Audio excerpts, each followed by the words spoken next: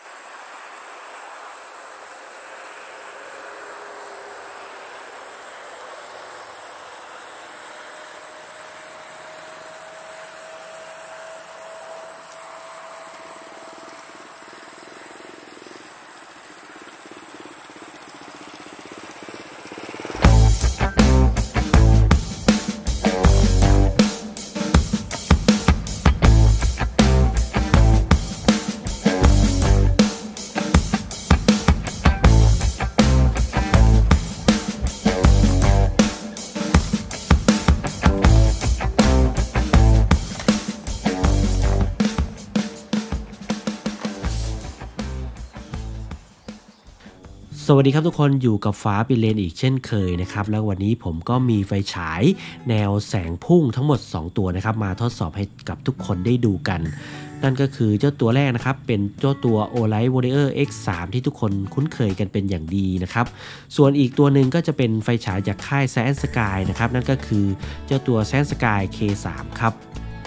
มาดูที่ลักษณะภายนอกของเขานะครับ ด้วยขนาดด้วยน้ำหนักแล้วก็รูปร่างนั้น ต้องบอกได้เลยว่าทั้ง 2 ตัวนั้นเขามีลักษณะที่ใกล้เคียงกันมากๆนะครับ เป็นไฟฉายแนว tactical ทั้งคู่นะครับ แล้วก็มีสวิตช์ที่ท้ายไฟฉายเหมือนกัน เพียงแต่ว่าเจ้าตัวแซสกาย K3 นั้นเขาจะมีสวิตช์ที่คอไฟฉาย เพิ่มเข้ามาอีกจุดหนึ่งนะครับ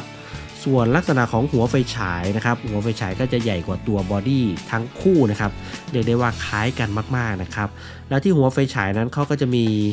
ตัวเม็ดสโคเนียม 3 เม็ดเหมือนกันทั้งคู่เลยนะครับเอาตรงนี้ก็คือเอาไว้ใช้สำหรับทุบกระจกนะครับ มี 1 LED ทั้งคู่นะครับ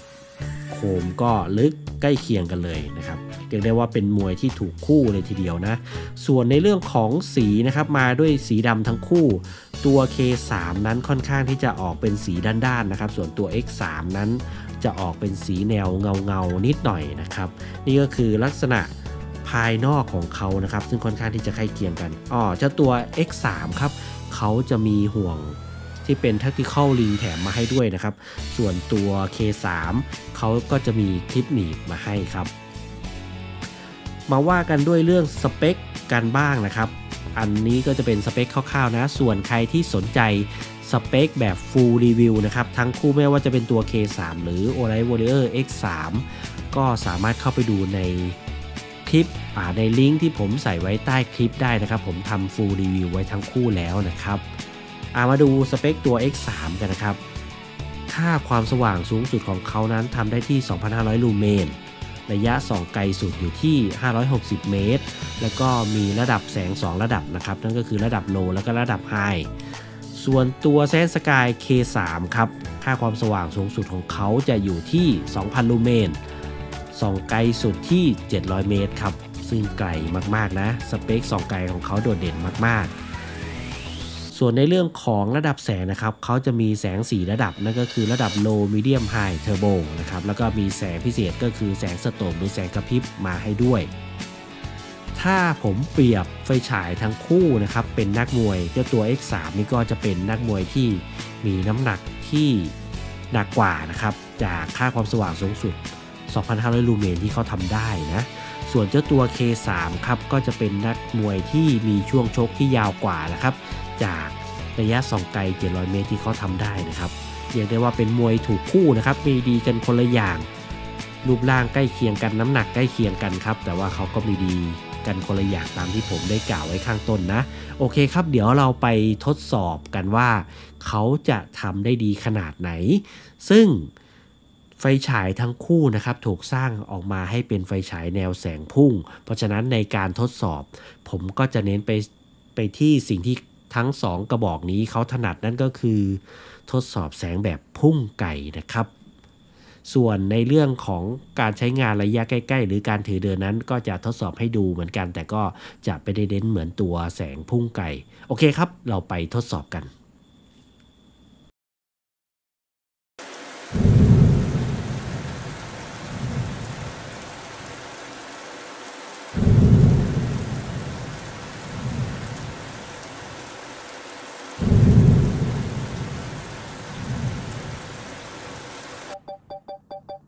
ครับ ตอนนี้เราก็จะใช้เจ้าตัวโดรนนะครับ บินวัดระยะในจุดที่เราจะส่องนะครับ ก็เหมือนเช่นเคยกับทุกครั้ง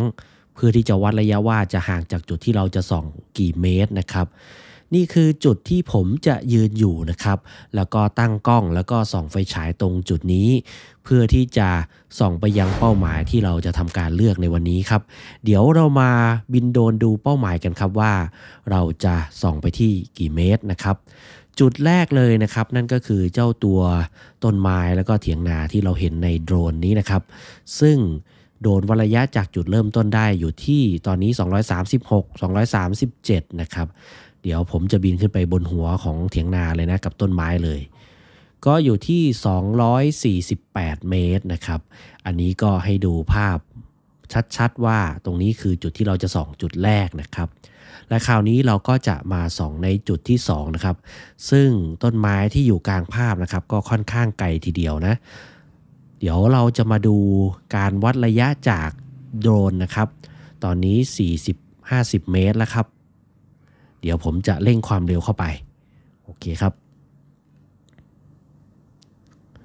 ความเร็วตอนนี้ 200 กว่าเมตรแล้วนะครับ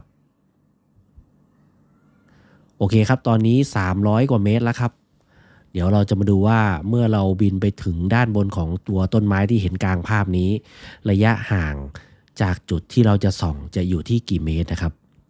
300 กว่าเมตรนี่คือเกินระยะที่ผมเคยทดสอบไฟฉายมาแล้วนะครับ ตอนนี้ 400 เมตรแล้วครับ ก็จะบินขึ้นไปบนตรงจุดตรงกลางของต้นไม้นะครับ ก็จะอยู่ที่ประมาณนี้ครับ 409 เมตรครับ 409 เมตร 410 เมตร ซึ่งเกินระยะที่ผมเคยทดสอบตั้งแต่ทำรีวิวไฟฉายมานะครับ จุดนี้จะเป็นจุดที่ผมทดสอบแบบระยะไกลสุดแล้วนะครับ นี่ก็คือให้ดูชัดๆนะครับ อันนี้ไม่ไม่ผ่านหน้าจอโดนนะ อันนี้คือจากกล้องโดนเลย นี่ก็คือลักษณะของต้นไม้ที่เราจะทำการทดสอบ โอเคครับ เรารอแค่มืดเราก็จะทำการทดสอบกันเลย ครับทุกคนและนี่ก็คือสถานที่ที่เราจะทำการทดสอบนะครับ จากตอนแรกที่บินโดนคราวนี้ผมก็จะลองใช้กล้องนะครับซูมให้ดู ก็เราจะเห็นเถียงนานะครับ แล้วก็มีต้นไม้อยู่ด้านข้างๆนะ ตรงนี้ก็ซูมให้ดูสุดกำลังกล้องแล้วนะครับ ก็จะเห็นว่าเป็นเถียงนาประมาณนี้ เดี๋ยวเรามาดูตอนส่องกันอีกทีนะว่าจะเป็นแบบไหนครับ ผมก็ เลื่อนมาครับมาเจอต้นไม้ตรง 410 เมตรนะครับ ตรงนี้ก็ซูมสุดเหมือนกัน เราก็จะเห็นลักษณะต้นไม้นะ โอเคครับ สภาพแวดล้อมตอนนี้ก็คือแสงอาทิตย์ใกล้จะหมดแล้วนะครับ ก็ยัง เดี๋ยวผมจะให้ดูนะว่าจุดที่เรา นี่ฮะ ซ้ายมือจะเป็น 410 เมตรนะครับ แล้วก็ขวามือจะเป็น 250 เมตรนะในมุมกว้างสุดนะครับ เรามาเริ่มกันที่เจ้าตัว o l i g h t Warrior X3 กันนะครับ ตรงนี้ก็คือประมาณ 100 เมตรครับไม่เกินนี้เราจะวอร์มกันก่อน จากนั้นผมก็จะส่องไปที่จุดที่เป็นเถียงนาที่ตรงที่ 250 เมตรนะครับ ผมจะไล่ไปเรื่อยๆนะครับ ที่100เมตรนั้นค่อนข้างที่จะชัดเจนนะครับ เห็นสปอตแล้วก็สปิวลักษณะแสงชัดเจนโอเคครับ คราวนี้ผมก็จะส่องที่บริเวณเถียงนาแล้วนะครับ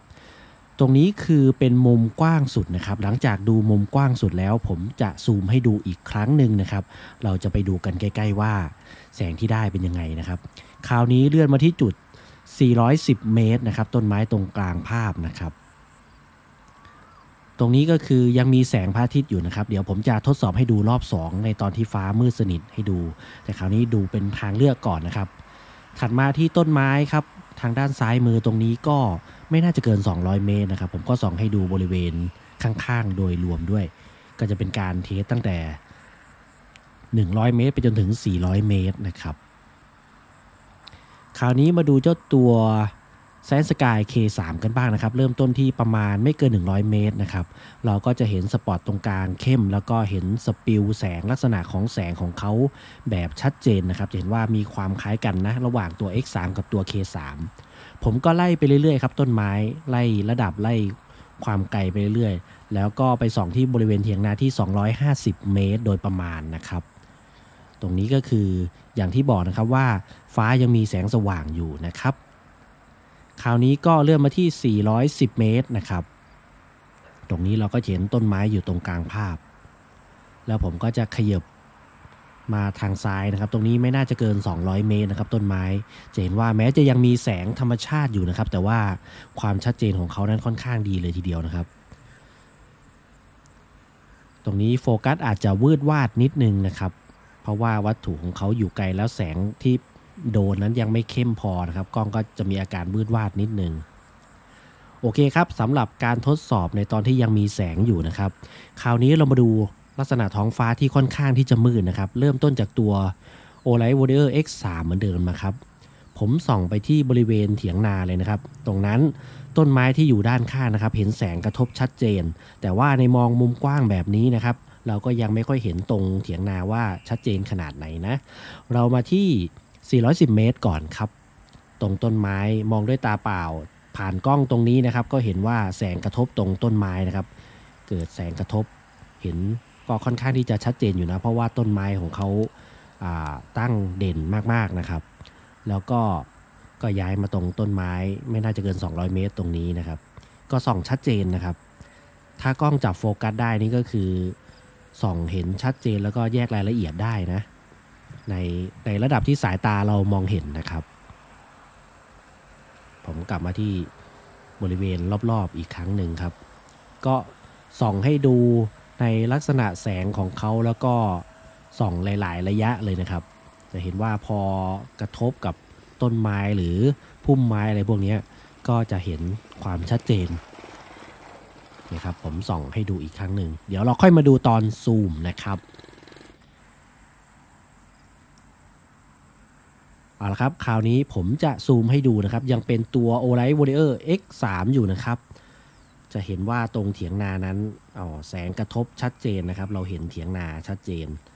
โฟกัสอาจจะวืดวาดไปนิดนึงนะครับ เพราะว่าผมคิดว่าน่าจะเป็นที่ตัวแมลงที่มันบินผ่านหน้ากล้องนะ คราวนี้ก็มาดูตัว 400 เมตรนะครับ ก็ตรงนี้ก็จะเห็นว่าแสงกระทบกับต้นไม้ชัดเจนนะครับ เห็นแต่โฟกัสอาจจะวืดวาดนิดนึงนะครับ เดี๋ยวรอบหน้าผมจะพยายามใช้แมนนวลโฟกัสนะครับ คราวนี้ก็มาดูเจ้าตัว K3 ในตอนมืดๆกันบ้างนะครับ ผมเริ่มส่องไปที่ตัวบริเวณเถียงนาแล้วก็ต้นไม้ข้างเคียงเลยนะครับ ตรงนี้ก็เห็นชัดเจนนะครับว่าแสงของเขาส่องตกกระทบไปถึงนะครับ มีวัตถุสะท้อนแสงนะครับก็คือต้นไม้ จากนั้นก็ไปที่ตัว 410 เมตรนะครับ เราก็มองจากตรงนี้มุมกว้างสุดก็เห็นนะครับ ว่าแสงกระทบต้นไม้นะครับ ก็ สองถึงทั้งคู่นะครับ ทั้ง X3 ทั้ง K3 นะ แต่ว่าเราจะมาดูรายละเอียดตอนที่เราซูมดูนะครับ คราวนี้ตัว K3 ที่ 200 เมตรครับ ต้นไม้ชัดเจนแสงพุ่ง ถึงแล้วก็เข้มมากๆนะครับ แยกแยะรายละเอียดได้เลยนะครับ บริเวณข้างเคียง อันนี้ก็คือเราทดสอบที่ความสว่างสูงสุดของเขาเลยนะ อันนี้ก็คือ 2 ลูเมนของ K3 นะครับ แล้วก็สภาพแวดล้อมก็คือค่อนข้างที่จะมืดสนิทนะครับ ในบริเวณที่เราทดสอบ จะมีไฟถนนนิดนึง แต่ว่าไม่เป็นอุปสรรคสำหรับการทดสอบครับ ผมก็ส่องไปเรื่อยๆนะครับ กลับมาที่ประมาณ 100 เมตรนะครับ ในจุดเริ่มต้นของเรา ผมก็จะส่องดูให้ดูเรื่อยๆนะครับ ไม่เฉพาะจุดที่เราจะทดสอบครับ นั่นทำให้เราได้เห็นลักษณะของแสงนะครับ ความสว่างของแสงแล้วก็ความอเนกประสงค์ในการใช้งานของเขาคราวนี้เราก็มาซูมดูเจ้าตัวแซนสกาย K3 นะครับ โอเคครับ ผมเห็นเถียงนาค่อนข้างที่จะชัดเจนเลยนะครับ จากระยะส่อง700 เมตรที่เขาทำได้นั้นที่ 250 เมตรนั้นชัดเจนนะครับ มาดูที่ 410 เมตรนะครับ ตรงนี้ก็ชัดเจนนะครับว่าแสงของเขาส่องถึงแล้วก็แสงตกกระทบตรงต้นไม้ชัดเจนนะครับ เห็นว่าเป็นต้นไม้ โอเคครับ คราวนี้ผมก็จะส่องให้ดูลักษณะแสงแล้วก็ความกว้างนะครับ เริ่มจากเจ้าตัว Warrior X3 นะครับ ที่ความสว่าง 2,500 ลูเมนเลยนะครับ แสง spot ตรงกลางเข้มนะครับ แล้วก็มี spill นะครับ ตรงขอบ spill นั้นตัดส่วนมืดส่วนสว่างชัดเจนนะครับ ลักษณะแสงก็จะคล้ายๆ เจ้าตัว K3 นั่นแหละครับ แต่นี่คือเจ้าตัว o l i g h t Warrior X3 นะครับส่องในที่โล่งๆกว้างๆแสงของเขาก็ครอบคลุมดีนะครับ เท่าที่เห็น คราวนี้เดี๋ยวเราจะมาดูเจ้าตัว Science Sky K3 กันบ้างครับ นี่ครับ สปอตตรงกลางสว่างจ้าแล้วก็เข้มนะครับ แล้วก็มีสปิลที่ตัดขอบชัดเจนนะครับ ระหว่างส่วนมืดกับส่วนสว่าง ส่องในบริเวณที่กว้างๆครับ แสงของเขาก็ ครอบคลุมบริเวณนะครับ แล้วตรงไหนที่ตรงสปอตเขาส่องถึงนั้นแสงเข้มมากๆนะครับ ส่วนที่เหลือเขาก็จะไล่ระดับลงมา นี่ครับส่องให้ดูเพื่อที่จะดูว่าลักษณะแสงของเขานั้นเป็นแบบไหน เหมาะกับการใช้งานแบบไหนนะครับ ถ้าถือเดินผมก็คิดว่าก็น่าจะได้อยู่นะครับ